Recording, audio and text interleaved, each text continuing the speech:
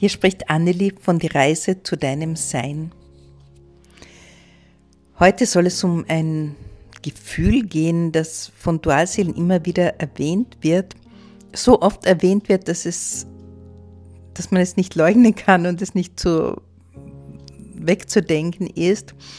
Und das ist das, dass sie sagen, sie haben das Gefühl, zu Hause angekommen zu sein, als sie ihre Dualseele kennengelernt haben?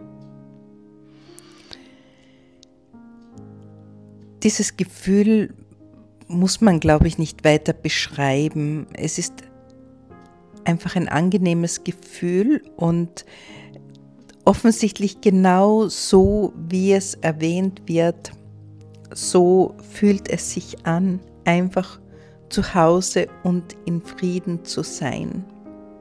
In diesem Moment selbstverständlich.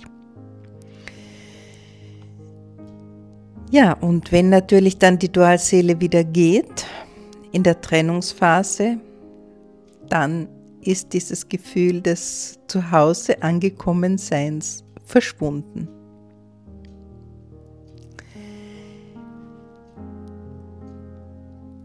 Genau das ist das, worüber ich heute sprechen will. Denn im Grunde tritt dieses Gefühl des Zuhause angekommen Seins bei jedem Menschen auf, der, der sich angenommen fühlen will, der, der nicht mehr darum kämpfen will, dass, dass er alles richtig macht, damit der andere, wer immer der andere ist, sich ihn so annimmt, wie er ist. Also das kann zum Beispiel auch in der Familie so sein. Es ist einfach dieses Gefühl, ich möchte so angenommen werden, wie ich bin. Und wenn dann das eintritt, ganz plötzlich, dann, dann ist man zunächst verwundert, hat es vielleicht gar nicht gekannt und möchte dieses Gefühl natürlich für immer behalten. Und ja, klar, dann fragt man sich, ja, war jetzt mit diesem Menschen etwas Besonderes? Bestätigt mir dieses Gefühl, nach Hause zu kommen, wenn ich mit diesen Menschen beisammen bin, dass es meine Dualseele ist? Prinzipiell muss ich sagen, eigentlich nein, sondern jeder Mensch, der dir das Gefühl vermittelt, du fühlst, du darfst jetzt so sein, wie du bist und ich nehme dich an, wie du bist, der vermittelt dir dieses Gefühl. Und da wir aus unserer Kindheit, die meisten von uns von der Kindheit ja nicht sehr verwöhnt wurden mit diesem Gefühl, sind wir erstens einmal überrascht, dann gefällt es uns gut und letzten Endes können wir süchtig werden nach diesem Gefühl. Es ist also nichts Übernatürliches, es ist ein Gefühl, ein Gefühl, das aus unserem Gehirn kommt und das stattfindet, wenn man einen Menschen trifft, der einen so annimmt, wie man ist. Dann plötzlich kann man durchatmen und sagen, ah, jetzt, jetzt bin ich zu Hause.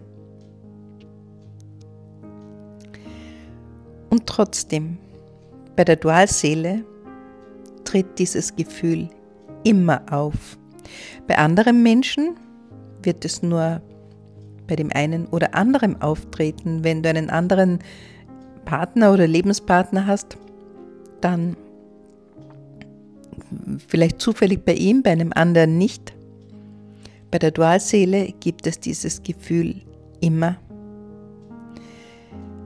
Und es ist ein Signal deines Körpers, das dir sagt, da ist etwas, das das jetzt wichtig ist für dich. Dieses Gefühl des Heimkehrens, des Nachhausekommens, das ist es, was du benötigst. Und logischerweise glaubst du dann, naja, das ist dieser Mensch, der das Gefühl auslöst, also brauche ich diesen Menschen, damit ich dieses Gefühl haben kann. Und es stimmt ja, wenn der weggeht, ja plötzlich ist das Gefühl des Zuhause angekommen Seins, des Friedens, des Angenommenseins plötzlich weg. Und du merkst schon, dabei macht man sich automatisch von einem Menschen abhängig. Und so tickt das Universum nicht. Du bist nicht abhängig von einem Menschen. Du bist auch nicht abhängig von deiner Dualseele. Es ist nicht so, dass du nur dann zu Hause angekommen sein kannst, wenn du mit deiner Dualseele zusammen bist. Und das ist im Grunde genommen die Dualseelenreise, darauf zu kommen, dass das auch aus dir heraus geht. Und zwar nicht psychologisch aus deinem Gehirn, aus deinem Gedächtnis heraus, aus deinen Gefühlen heraus. Da verändert sich nicht so schnell etwas, sondern wenn du auf deiner Dualseelenreise näher und näher an dein Sein rückst, in den jetzigen Moment kommst, immer wieder, kommst du automatisch immer wieder in dieses Gefühl innerer Frieden und Zuhause. Ich bin zu Hause angekommen. Dann kannst du durchatmen dann verlangst du selbst nichts mehr von dir und niemand anderer kann es tun. Und dann benötigst du auch keinen Menschen oder auch ein Tier oder ein Hund oder irgendwas im Außen. Dieses Gefühl, ich bin zu Hause bei mir angekommen, also bei meinem Sein, dieses Gefühl kann kann man kennenlernen, kann man kennenlernen. Und das ist auch das Einzige, was dann, wodurch du dann die Aufmerksamkeit von deiner Dualseele abziehen kannst, weil du sagst, Moment, das gleiche schöne Gefühl gibt es aber auch, wenn ich mit mir selbst, mit meinem Sein in Übereinstimmung bin. Wenn ich Hingabe übe an mein Sein, dann habe ich dieses Gefühl. Und warum Hingabe? Hingabe heißt im Grunde genommen alles aufzugeben, den Kampf aufzugeben, Vorstellungen aufzugeben, Wünsche aufzugeben und natürlich Sehnsüchte, alles aufzugeben. Das ist Hingabe, Hingabe an das, was jetzt ist, jetzt in diesem Moment, wo es dir sehr wahrscheinlich ja gut geht. Du hast ja im Moment keinerlei äh, un, wie, wie soll man sagen, unangenehme Zustände, sondern jetzt und hier geht es dir gut.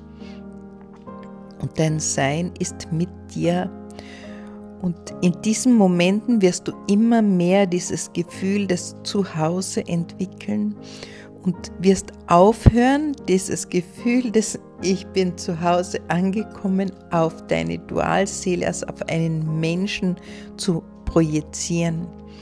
Denn ich verrate dir wahrscheinlich etwas, was du ohnehin weißt. Jeder Mensch auf dieser Welt, jeder, jede menschliche Form ist unperfekt und deshalb kann auch deine Dualseele ganz, ganz anders sein, als du dir das jetzt in irgendwelchen Vorstellungen sozusagen ausmachst.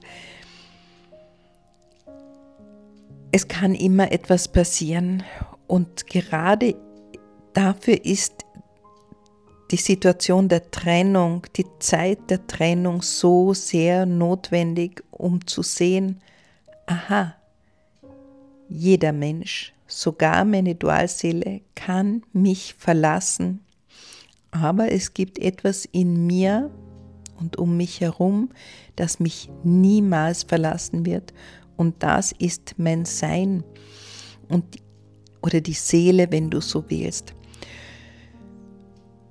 Und je größer sich dieses Gefühl in dir entwickelt, umso mehr entwickelt sich dadurch durchaus auch ein menschliches Gefühl, dieses Gefühl des Zuhause angekommen und bedingungslos angenommen Seins, also bedingungslos angenommen zu werden das, was du dir von deiner Dual, von dem Menschen, deiner, also deiner menschlichen Dualseele, der menschlichen Form deiner Dualseele erwartet hast, fälschlicherweise, weil sie kann es nicht erfüllen. Kein Mensch kann das erfüllen. Das bekommst du von deinem Sein. Und da findest du den inneren Frieden, da findest du die Kraft, da findest du die Ruhe und letzten Endes auch die ganzen Ideen und Vorschläge für jeden Moment deines Lebens, sozusagen die Impulse deines Seins. Dort findest du sie und dort ist dein Zuhause. Ja, und wenn du dann natürlich sagen wir mal, 80 Prozent des Tages, ich kann das jetzt nicht so genau sagen, oder 90 Prozent des Tages mit deinem Sein verbunden bist, weil das bist du ja nicht nur in Meditation oder ähm, wenn du in der Stille zu Hause bist, sondern während deines ganzen Tagesablaufs kannst du und wirst du mit deinem Sein verbunden bleiben in diesem Gefühl, ich bin zu Hause angekommen. Und wenn das passiert, dann, dann ist es sehr, sehr, sehr wahrscheinlich, dass die menschliche Form deiner Dualseele das bemerkt, weil sie ja das gleiche Sein, die gleiche Seele sozusagen teilt. Sie hat einfach die gleiche mit dir. Sie ist die gleiche Seele und dadurch automatisch die Anziehung immer stärker wird, dass er oder sie dann doch wieder mit dir Kontakt aufnehmen will und entweder zurückkommt gleich oder auch wieder weggeht natürlich, wenn das für dich ein Anlass ist, dass du deine Heimat, dein Zuhause wieder bei diesem Menschen suchst und nicht in dir selbst. Du musst sie immer in dir selbst suchen, weil nur dort wirst du sie verlässlich und immer finden. Immer und ewig. Während jegliche menschliche Form, auch die deiner Dualseele, keineswegs immer verlässlich sein kann, und schon gar nicht bis in alle Ewigkeit vorhanden ist. Wenn du dich also stützt auf irgendeinen Menschen im Außen oder ein Tier von mir wenn du einen Hund zu sehr äh, mit einem Hund so sehr zusammen bist oder mit was auch immer, worauf du dich stützt, was materiell ist, sprich von dieser Welt von dieser Erde ist, das ist vergänglich und wird vergehen. Und deshalb bist du da sozusagen verlassen. Und dieses wunderbare Gefühl des Nachhausekommens, des Angekommenseins, des inneren Friedens, der Ruhe, der Sicherheit, der Liebe, das findest du hundertprozentig dein ganzes Leben lang in dir und natürlich dann auch darüber hinaus. Ich hoffe, dass ich dir mit dem heutigen Video helfen konnte. Und falls ja, dann lass bitte ein Like da und du kannst auch den Kanal abonnieren. Und ich wünsche dir alles Gute, einen wunderschönen Tag und bis bald.